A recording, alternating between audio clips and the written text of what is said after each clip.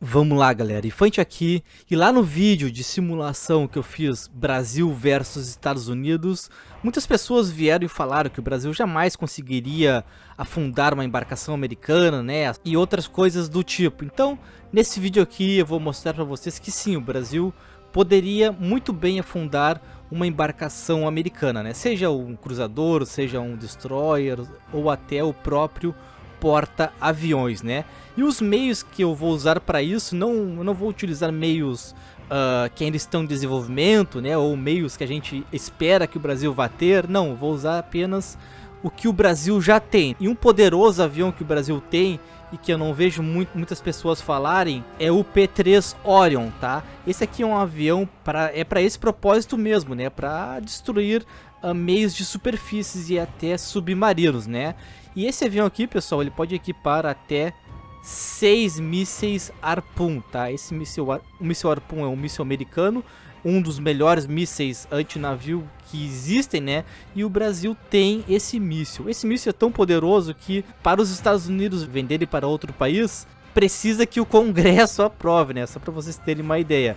E o Brasil uh, fechou essa parceria com os americanos e comprou um míssil Harpoon, né? Então nós temos um avião para lançar ele, que é o P-3 Orion, e também temos esse míssil, né? Então aqui está o P-3 Orion equipado com seis mísseis Harpoon. E o Brasil dispõe de 8 P3 Orion, né? O P3 Orion que o Brasil dispõe é o mais moderno, é, o, é a versão AM, e além do P3 Orion, principalmente, né, nós temos os submarinos, pessoal. O Brasil possui seis submarinos, né? Submarinos não são nucleares, são submarinos diesel elétrico, né? Esses submarinos, pessoal, eles não caçam os, as embarcações, né? Eles fazem emboscada, né? Eles eles vê lá a, o rumo né, da embarcação inimiga, onde vão estar e ficam esperando. Esses submarinos, pessoal, são mortais. Eles podem ficar deitados no fundo do mar, né? E se, e se estiverem nessa posição, é praticamente impossível detectar eles, né? Eles só ficam ali,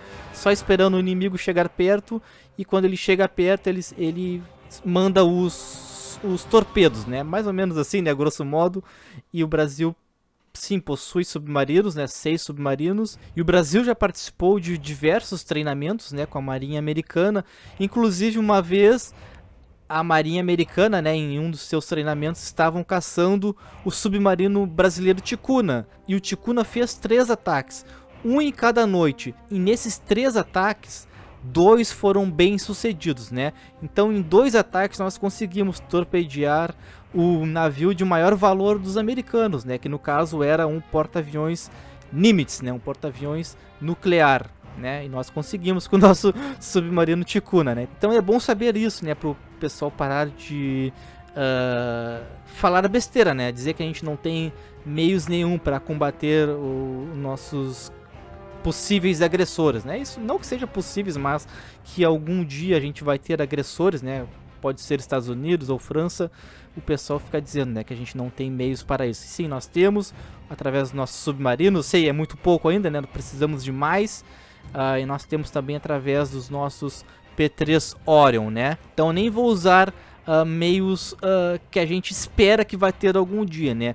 E um dos meios que eu espero que o Brasil vá ter é através do Gripen. Então eu espero muito que o Gripen tenha meios antinavio, né, que possa utilizar até mesmo o míssil Harpoon, mas também eu gostaria que a gente trouxesse diversidade para os nossos armamentos, né, que não dependesse apenas dos americanos. Eu sei que esse negócio de ah, ter um código para desativar o míssil, eu acho que isso é bobagem, né? O pessoal fala muito isso nas Ilhas Malvinas, né? Uh, mas uh, que a França teria um código que poderia passar para os americanos, eu acho isso uma baita bobagem. Que mesmo que a França tenha, que eu acho que, sei lá, acho, acho que não tem como, né? Tu desativar um míssil com um código. Uh, e muito menos passou para os britânicos, né? Então eu gostaria muito que o Brasil comprasse esse míssil aqui dos suecos, que dizem que é um dos melhores mísseis antinavio que existe hoje em dia, né? Que é o míssil RBS-15 MK4 tá? Então, uh, no futuro pode ser que o Brasil venha a ter esses mísseis, né? Que venha a fechar essa parceria com os suecos e que a gente consiga diversificar os nossos meios uh, antinavio, né? Tá, pessoal? E além do, do Gripen, né? o Brasil também modernizou, ou está para modernizar, né, alguns dos caças A4. O míssil que o A4 está equipado aqui é o AGM-45A, mas esse míssil é bem antigo, né? Então acredito que a gente não vai utilizar esse míssil. Eu nem sei se a gente tem esse míssil. Eu sei que a gente tem o AGM-84 Harpoon. Pode ser, né, que o A4 modernizado vá utilizar o Harpoon. Outro meio antinavio que a gente tem é o helicóptero, né? Esse helicóptero aqui, a gente tem uma versão parecida com o SH-60, tá? E esse SH-60 pode uh, disparar um míssil AGM-119B Pinguim, tá? E o Brasil tem esse míssil e consegue disparar esse míssil através de seus helicópteros também, né? O helicóptero da Marinha. Mas como esse, como o helicóptero é um meio muito lento, uh, não é um bom meio anti navio, né? Principalmente ante um strike group americano, tá? Então eu não vou utilizar o helicóptero. Não vou utilizar o A4 também, né? Porque é só um plano de modernização. O A4 ainda não está uh, preparado para disparar míssil antinavio, tá? Então eu elimino o A4 e nós ainda não compramos o RBS 15 ou também não sei se a gente vai comprar algum dia, né? O RBS 15 para equipar nos Gripens, tá? Então não posso usar o Gripen também. Simbora então, pessoal, vamos iniciar aqui a simulação. E aqui está o Strike Group americano. Eu coloquei um clima bem difícil, né? Um, tá um vento de 70 km por hora, né? Tá gerando essas ondas grandes aqui. E aqui tá o, o AWACS americano decolando.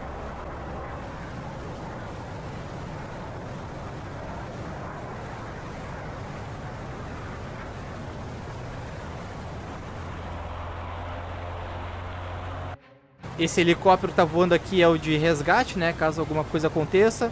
E aqui tá o Strike Group, seis Arleigh Burke, seis Destroyers Arleigh Burke e seis cruzadores Ticonderoga. Então aqui estão os P3 Orion. Olha só que legal. Aqui está o P3. No P3 tem três mísseis AGM 84 Harpoon em cada asa, né? Três nessa asa e três nessa asa aqui. Eles estão voando baixo para tentar uh, evitar os radares, né? Apesar de não ser possível. Tá? Aqui estão nossos P3. Aqui está a nossa WAX. E aqui estão nossos radares, né? Vou acelerar um pouco o vídeo, pessoal, para os aviões dispararem, tá? Ó, pessoal, tá disparando.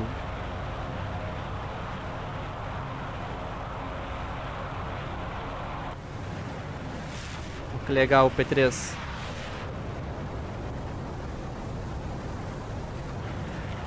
Aqui está. Todos os mísseis Harpoon indo em direção a seus alvos.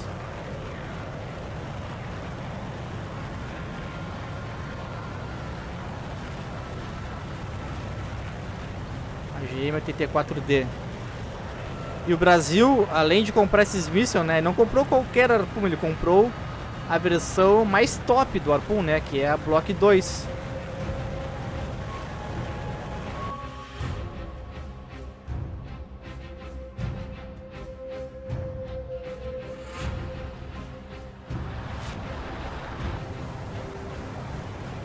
Então aqui estão, pessoal. Os, os caças agora vão recuar para a base né? Após dispararem todos os seus mísseis antinavio, eles vão recuar para a base, né? A distância que eles dispararam mais ou menos foi de 140 quilômetros, né? 136 aqui, 140 quilômetros mais ou menos foi a distância que eles dispararam.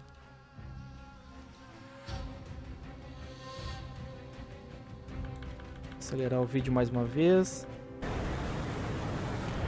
Ó, pessoal, começaram a disparar os mísseis uh, para destruir os Harpoon, né? Só.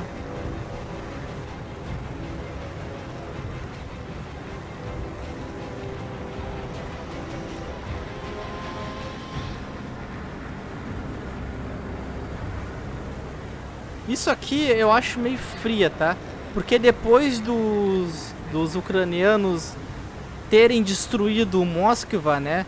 Eu acho que é meio frio esse negócio, ah, que os navios podem disparar um monte de míssil contra outros mísseis, né? Uh, principalmente os mísseis voando em baixíssima altitude, né? Como é, o caso do Harpoon. Então eu acho que uh, eu não duvido, né, dessa capacidade, mas uh, eu não penso que seja assim tão videogame como é aqui, né? Como tá aparecendo aqui.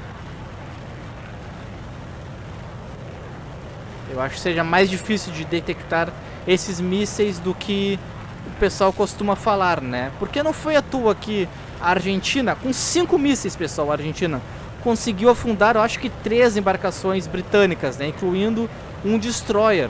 Então, uh, eu acho meio fria, né? Esse negócio aqui de disparar um monte de míssil uh, e conseguir destruir, né? Esses mísseis antinavio em baixa altitude.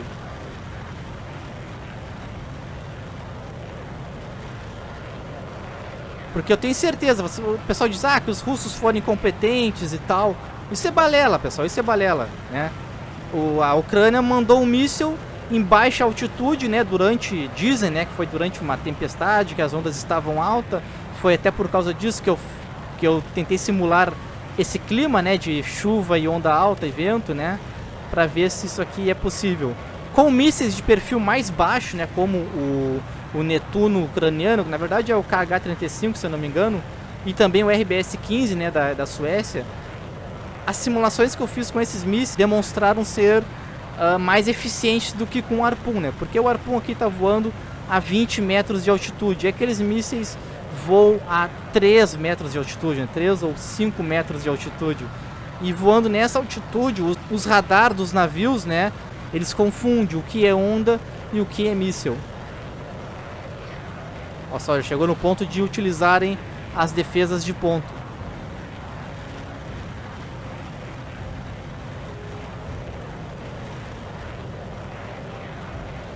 Acompanhar aqui.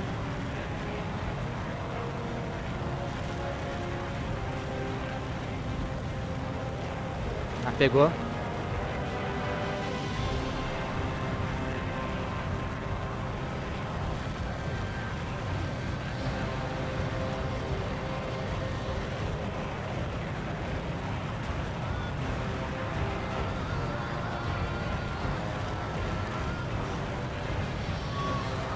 Ó, a defesa antiaérea do Strike Group é insana, né? Não tem nem o que dizer. As defesas de ponto são as melhores, os mísseis... Uh, esse míssil S2 é muito poderoso também. Ó, será que vai pegar? Nossa, ó! Acertamos, pessoal. Porta-aviões americano. Nossa. Olha só. Outra coisa, olha. Aqui por cima dá pra ver... Olha só, pessoal. Os, os submarinos dispararam os torpedos, olha. Olha lá, pessoal. Aí, ó.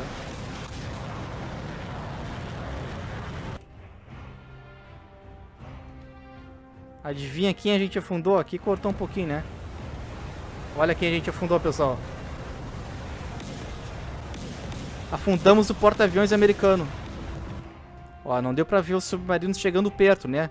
Mas os submarinos estavam só esperando os, os, os, as embarcações americanas chegarem perto. Então isso aí, pessoal. Uh, respondendo, né, ao pessoal que criticou o Brasil lá, ah, que isso aí é, é fria, né, que o Brasil não tem a capacidade de afundar embarcações americanas, tá? Eu acho que com esse vídeo aqui eu consigo responder, né, que nós temos sim essa capacidade através do, do avião P-3 Orion com seus mísseis Harpoon e principalmente através dos nossos submarinos, né? Então assim, pessoal, espero que tenham curtido. Vou encerrando a simulação por aqui. Vamos ver onde é que estão os nossos P3 Orion. Tá? Claro que a gente não conseguiu afundar o Strike Group inteiro, né? Afundar o Strike Group inteiro já é outra coisa, né? Mas conseguimos afundar a embarcação mais valiosa deles, que, que com certeza é o porta-aviões, né? Porta-aviões nuclear da classe Nimitz.